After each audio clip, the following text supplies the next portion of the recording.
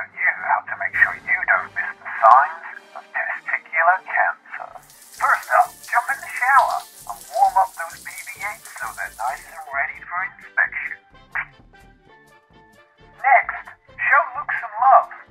Take your furball between your thumb and your finger and firmly but gently roll him around.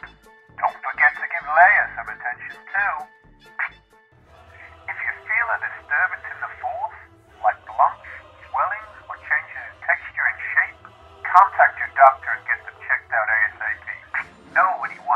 chemical invasion in there, Death Stars.